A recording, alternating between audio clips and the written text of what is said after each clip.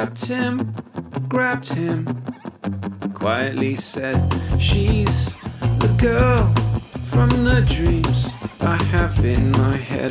We only meet in our sleep, in our beds, but she's too much for me. So last night I fled. I see